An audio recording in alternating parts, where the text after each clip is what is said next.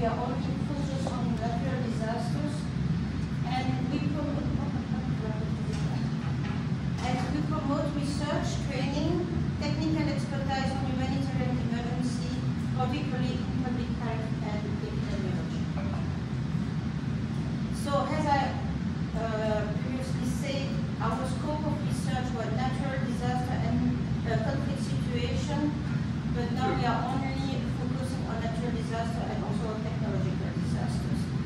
So threat studies know the aspect of humanitarian crisis and emergency related to socioeconomic, gender, and environmental topics, with a strong focus on the special needs of vulnerable groups such as women and children. And in 88, we have launched the Emergency Event Database, or called EM-DAT, which is the Global Disaster Database.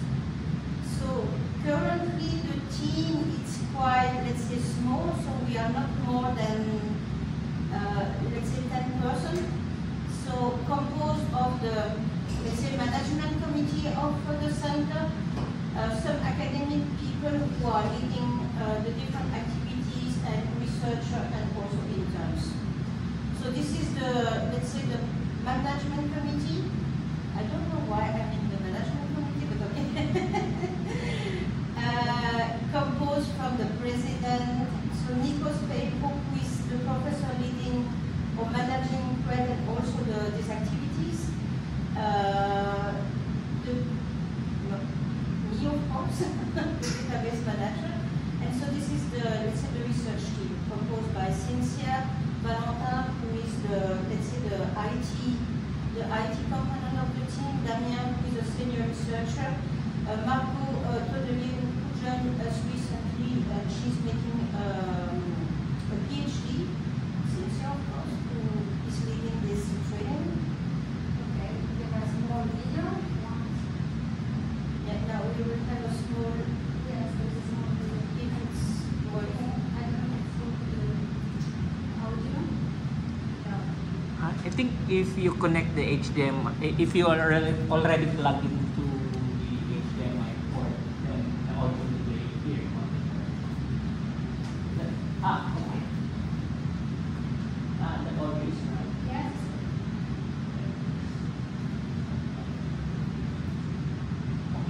Uh, says the TV. Um, Okay. Okay, right.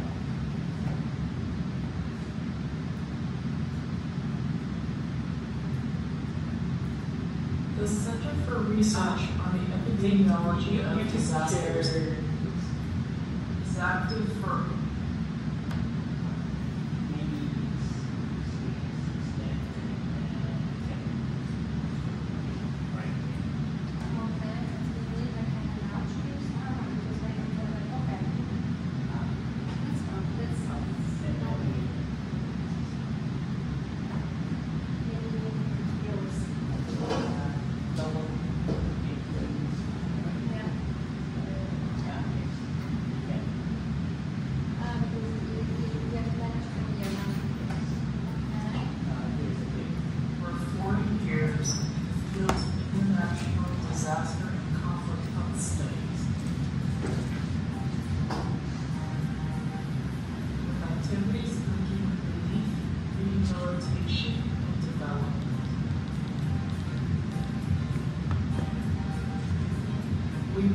training and technical expertise on humanitarian emergencies,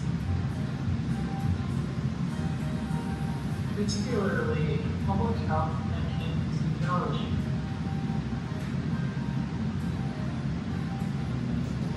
Past grants research scope included two main axes. Natural disasters and crisis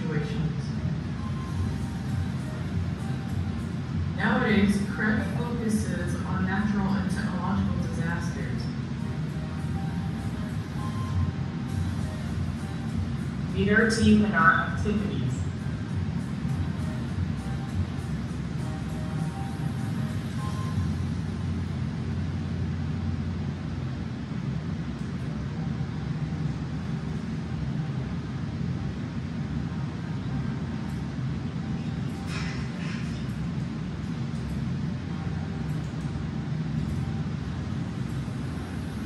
Three activities are currently the heart of our project. Database maintenance, direction, and development.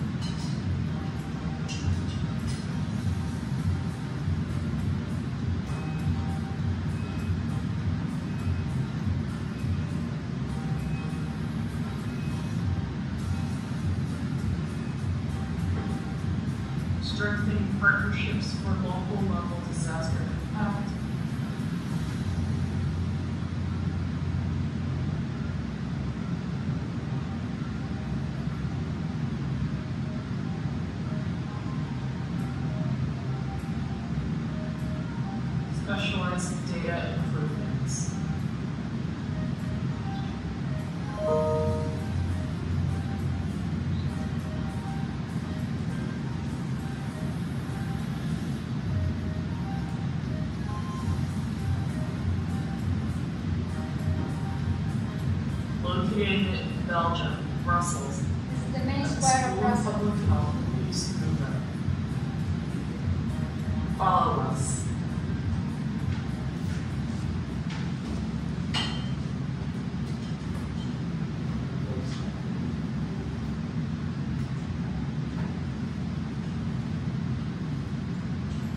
Yes, yes. So, uh, now, uh, in terms of the, the agenda, um, I don't know, Ah. Joshua, should- if you want us to Yes. present the institution manager activity.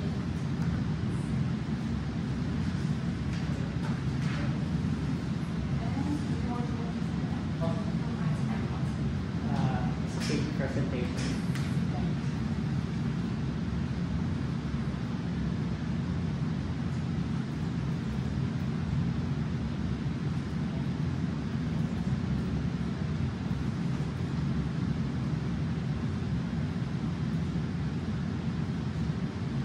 Okay. Uh, So good morning everyone. Uh, yes. So just to give a brief introduction to the partner institution, which is the Institute of Civil Engineering. So Institute of Civil Engineering is uh, Institute of Civil Is the civil engineering institute in the Philippines, and it's uh, established on uh, by, by through a Board of Regents resolution back in 2008. So from the department, it became an institute. So it is the first and only academic institute in the country. So it offers different degrees, particularly BS Civil Engineering, so for the undergrad, MS Civil Engineering, which has special, different specialized tracks, and we also have the PhD in Civil Mainly divided into four main groups, or rather four specialized tracks. We have Geotechnical Engineering, Water Resources Engineering, uh, Transportation Engineering, and Structural Engineering. So the Institute's dedication for academic excellence is emphasized through various academic. So these various academic groups are uh, divided into six. As so, uh, there are six main academic groups. So we have the uh, construction engineering and management group. We also have the environmental and energy engineering group.